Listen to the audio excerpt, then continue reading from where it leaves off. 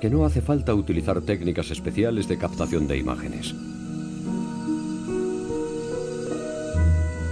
Darwin dijo que esta era una de las plantas más maravillosas del mundo.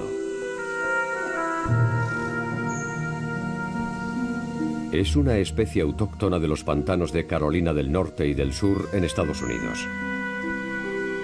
Se llama Venus atrapamoscas. Captura a los insectos con un mecanismo similar a un cepo.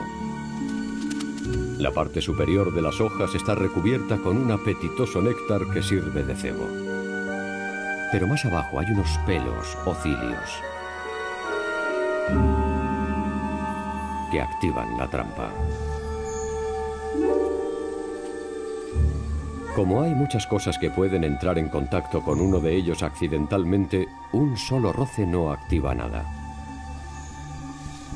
Pero cuando una mosca recorre la hoja mientras está libando el néctar, es muy probable que toque más de uno. Y si roza dos en un intervalo de 20 segundos, está condenada.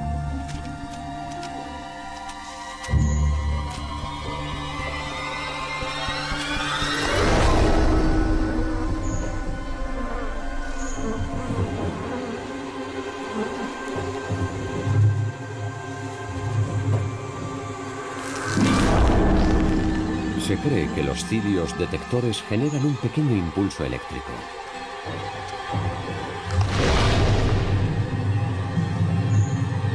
Los desesperados esfuerzos de la víctima para intentar encontrar una salida activan más cilios y hacen que la trampa se cierre cada vez más.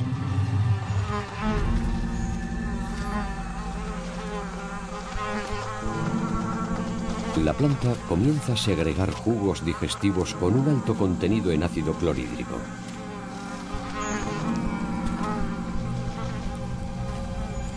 Tardará 10 días en digerir a su presa por completo.